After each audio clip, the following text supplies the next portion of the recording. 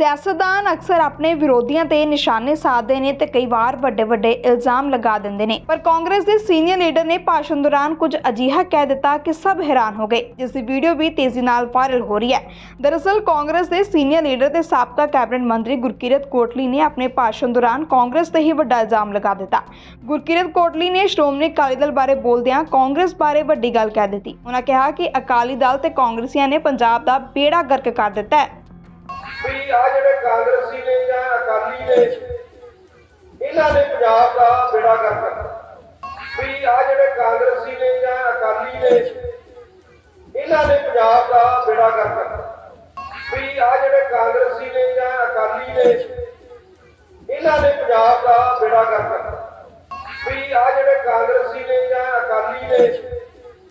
ਇਹਨਾਂ ਨੇ ਪੰਜਾਬ ਦਾ ਬੇੜਾ ਗਰਕ ਕਰਤਾ ਅਕਾਲੀ ਨੇ ਇਹਨਾਂ ਨੇ ਪੰਜਾਬ ਦਾ ਬੇੜਾ ਗਰਕ ਕਰਤਾ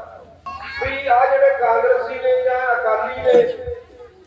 ਇਹਨਾਂ ਨੇ ਪੰਜਾਬ ਦਾ ਬੇੜਾ ਗਰਕ ਕਰਤਾ ਵੀ ਆ ਜਿਹੜੇ ਕਾਂਗਰਸੀ ਨੇ ਜਾਂ ਅਕਾਲੀ ਨੇ ਇਹਨਾਂ ਨੇ ਪੰਜਾਬ ਦਾ ਬੇੜਾ ਗਰਕ ਕਰਤਾ ਵੀ ਆ ਜਿਹੜੇ ਕਾਂਗਰਸੀ ਨੇ ਜਾਂ ਅਕਾਲੀ ਨੇ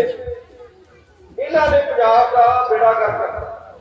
ਵੀ ਆ ਜਿਹੜੇ ਕਾਂਗਰਸੀ ਨੇ ਜਾਂ ਅਕਾਲੀ ਨੇ ਇਹਨਾਂ ਨੇ ਪੰਜਾਬ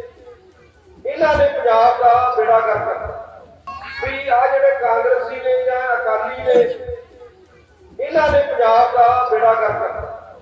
ਵੀ ਆ ਜਿਹੜੇ ਕਾਂਗਰਸੀ ਨੇ ਜਾਂ ਅਕਾਲੀ ਨੇ ਇਹਨਾਂ ਨੇ ਪੰਜਾਬ ਦਾ ਬੇੜਾ ਗਰਕ ਕਰਤਾ ਵੀ ਆ ਜਿਹੜੇ ਕਾਂਗਰਸੀ ਨੇ ਜਾਂ ਅਕਾਲੀ ਨੇ ਇਹਨਾਂ ਨੇ ਪੰਜਾਬ ਦਾ ਬੇੜਾ ਗਰਕ ਕਰਤਾ ਵੀ ਆ ਜਿਹੜੇ ਕਾਂਗਰਸੀ ਨੇ ਜਾਂ ਅਕਾਲੀ ਨੇ ਇਹਨਾਂ ਨੇ ਪੰਜਾਬ ਦਾ ਬੇੜਾ ਗਰਕ ਕਰਤਾ ਵੀ ਆ ਜਿਹੜੇ ਕਾਂਗਰਸੀ ਨੇ ਜਾਂ ਅਕਾਲੀ ਨੇ ਇਹਨਾਂ ਨੇ ਪੰਜਾਬ ਦਾ ਬੇੜਾ ਗਰਕ